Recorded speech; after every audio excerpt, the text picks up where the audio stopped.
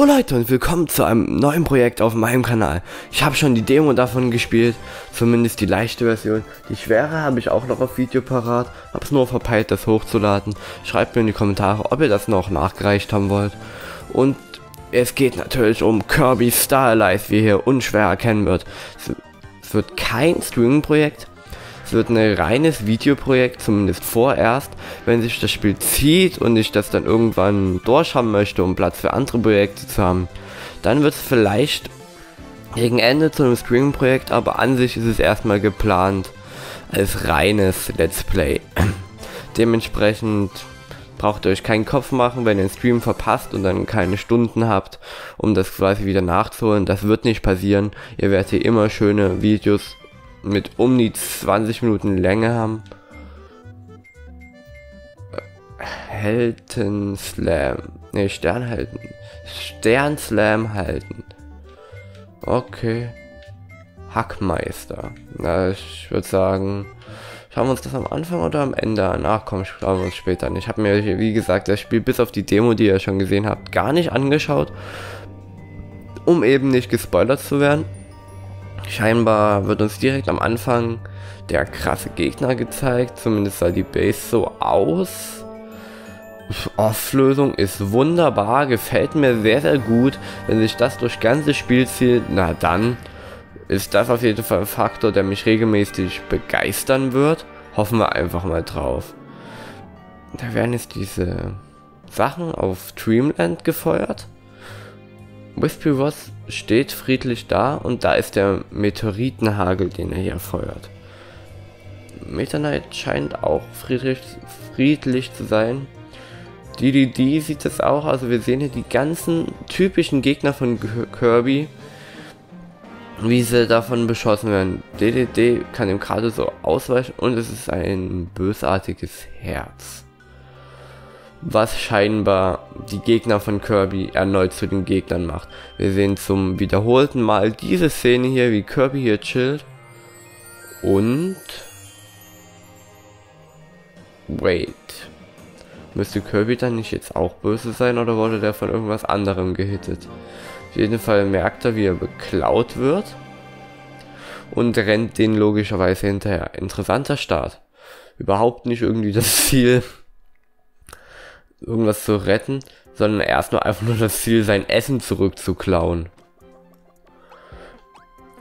Das ist jetzt das erste Level. Ah, man, das ist nicht wie bei Super Mario, dass man es antippt und er läuft so zum nächsten Level, sondern man kann auf der Overworld etappenweise navigieren. Na. Ist das das Level aus der Demo? Ist das das Level aus der Demo? Sieht bis jetzt sehr stark danach aus. Das wäre relativ lame. So, wenn ihr Kirby überhaupt nicht kennt, dann schaut euch einfach mein Video zur Demo-Version an. Da habe ich es ganz gut vorgestellt, was eben Kirby so beinhaltet, also das Spiel üblicherweise so beinhaltet und besonders was in Demo zu sehen war.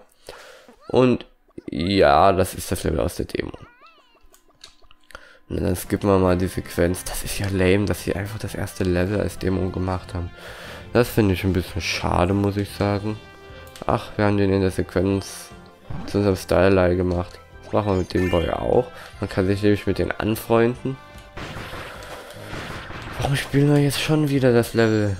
Übrigens durch einen Aufnahme-Fail, den ich bei der Demo hatte, nee, spiele ich das jetzt zum dritten Mal. Würdet ihr gern von dem Spiel dreimal das Tutorial spielen? Ich meine, ja, man spielt Kirby eh nicht für den Anspruch, aber come on, dreimal dieses Level. Hab mir mehr erhofft. Übrigens kenne ich das ja jetzt auch schon. Also wir haben ja halt diese Starlights, die auf jeden Fall schnallen, was sie zu tun haben. Oder es noch essen, das möchte ich haben. Und die killen sogar den Gegner, sobald ich ihn anhitte. Und wenn ich weggehe, kommt die mit. Okay.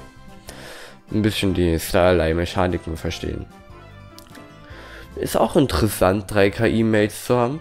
Frage ist, wie overpowered sind die denn? Nicht, dass das Spiel deswegen zu einfach ist oder zu schwer wird es nicht sein, weil die wissen ja selbst, wie stark sie das programmiert haben. Und damit können wir uns jetzt noch Feuer holen und uns das wunderbare Feuerschwert gönnen. Feuerschwert, let's go! Brutzelschwert hieß das, wenn ich mich nicht irre. Genau, da machen wir mehr Schaden und haben ein cooleres Schwert. Haben wir irgendwelche Special Moves? Ich glaube, sie haben nur alles ein bisschen verqualifiziert. Wir haben einfach alles in besser. Aber gibt es nicht auch irgendwie Brutzelbomben und Brutzelboomerang? Ja. Also setzen wir wunderbar alles in Flammen hier. Die Brutzelbomben und der Brutzelboomerang. Wie auch immer das geschafft hat, die Bomben anzuzünden, ohne dass sie explodieren.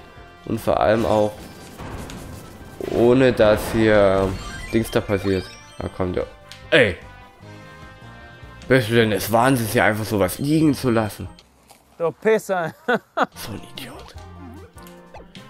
Ich dachte, komm, lass unseren Mate das einsammeln, weil die sammeln das auch mit für uns ein. Was auch irgendwie chillig ist. Das ist zum Beispiel auch so eine Idee, die kann einfach nur ein Kirby-Entwickler haben. Jeder andere würde denken, mi, mi, mi, mi, das ist ja voll overpowered. Aber muss es denn immer schwer sein? Und ich bin mir hundertprozentig sicher, dass es trotzdem geschafft haben, auch ein bisschen Anspruch in das Spiel zu bringen. Vor allem ist Kirby Bosse und die letzten Welten bei Kirby sind ja durchaus, oh lol, das, das will ich alles einsammeln, durchaus auch nicht gerade einfach. Blick hoch, kann man irgendwo sehen wegen Sammelgegenständen, wie wir da gerade stehen. Scheinbar nicht.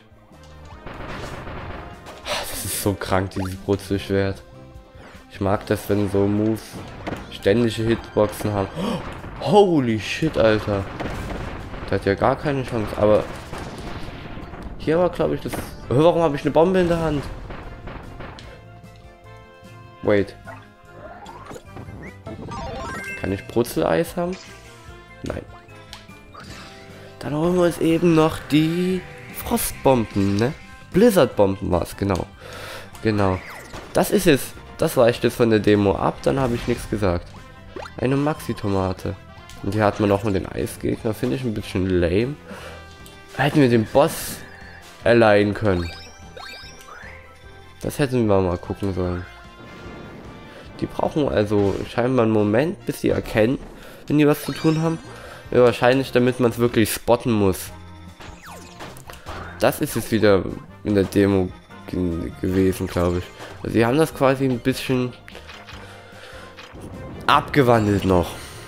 Na dann, dann ist es eigentlich voll okay. Und das ist auch schon das Ziel, also. Ja gut, in der Demo hat man halt gegen Wispy Woods gespielt. Ja, wahrscheinlich so ein bisschen was zusammengekattet. Das Bonusspiel, wie ist das denn diesmal? Okay, ich habe es ein bisschen verpeilt.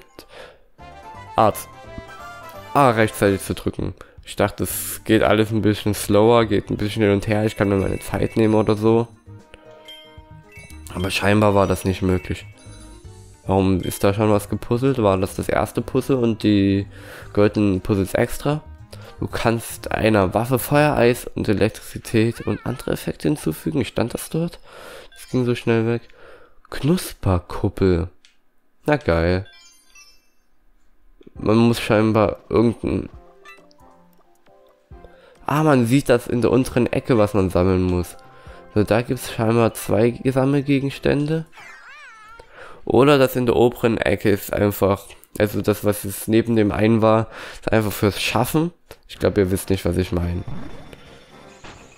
Ah, hätte ich den mir mal zumindest frienden sollen. Ich glaube schon, na egal. Ach, das ist... Das war auch in der Demo der Teil hier. Aber, oh Mann, ich sollte mir den Wasser mal frienden. Oder sogar Cappin.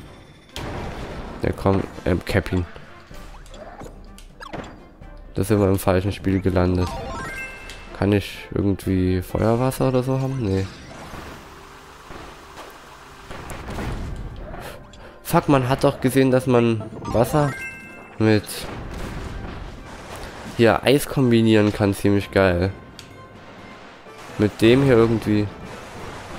Ah, das ist voll OP. Wasser gegen Feuer. Ist ja wie bei Pokémon hier. Ist ja wie bei Pokémon. Während eines Sprungs wiederholt A-Spam, um zu eskalieren. Jo. Das ist so unfair. Diese Gegner sind bestimmt echt strong, wenn man gerade kein Wasser hat. So haben sie nämlich schon die Möglichkeit, es quasi schwer zu machen, dass man immer die richtigen Fähigkeiten stacken muss, um gegen jede... Oh Mann, ich wollte mir doch Eiscappy. Ach Mann, das habe ich nicht mitgedacht. Ach komm, sei leise. Und ja, es ist wirklich so, wenn man die, die Fähigkeit nicht hat, ist das schwer zu besiegen. Deswegen hat unser ganzes Team auch Schaden, nur wir nicht. Schön den Leo Le Ladder. Leo Ladder? Heißt der so? Der heißt doch bestimmt nicht Leo Ladder, oder? Leo Loda. Der Leo Loda. Ähm. Ähm. Friend. Oh, zu spät. Da komm, hier können wir uns frienden. Und zwar für... Feuer will ich eigentlich behalten. Boomerang zum Schneiden für die Bomben. Feuer kann einfach mit so vielen Fähigkeiten stacken. Und Boomerang kann halt cutten und ist eine Fähigkeit, mit der das stacken kann. Aber wie wir den Stein wieder hochgeschleudert haben, war ja richtig gemein. Andererseits haben wir den damit gelöscht. Also eigentlich war das total sozial von uns. Diese Fähigkeit ist auch witzig. Wenn man fliegt einfach über die Gegner drüber und gut ist. Bei die macht glaube ich nicht so viel Schaden. Wir können ja auch einfach lang surfen. Wow!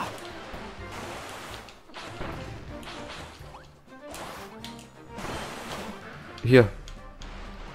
Ähm, Feinstein, genau, so ist der. Hier ist ein Sekret, einfach zu finden. Oh, Max ist online mit Xenoblade Chronicles 2. Das Spiel ging ja leider an mir vorbei, obwohl es echt gut ist. Jetzt können wir uns mal die Eis-Kombo gönnen. Für Feuer, weil Eis kann auch viel stacken.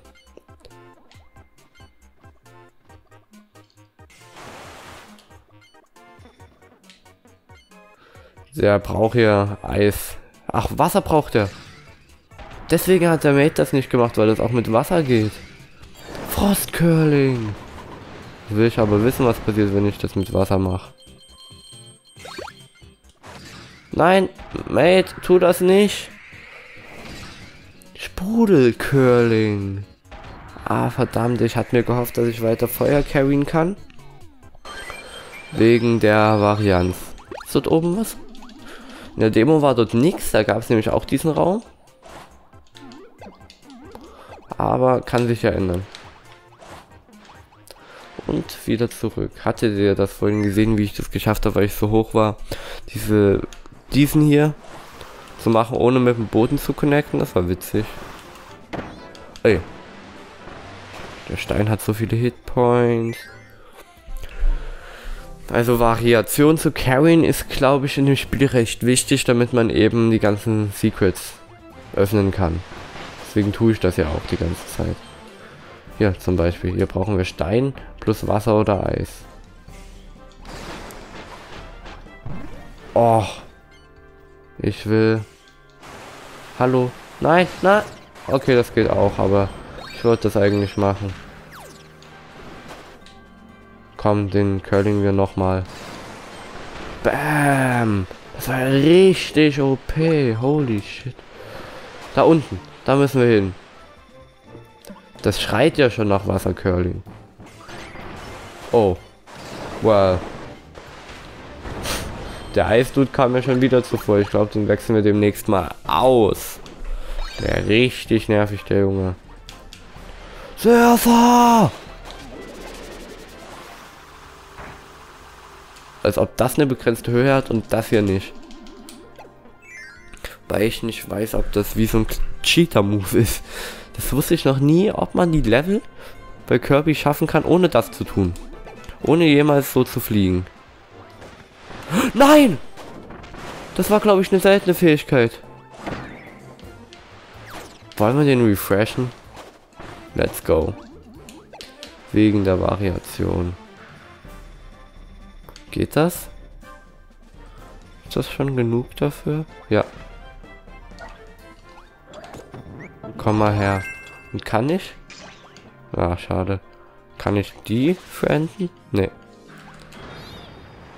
Ah, das ist eine Combo-Fähigkeit. Ich dachte, das wäre einfach der normale Flugdude.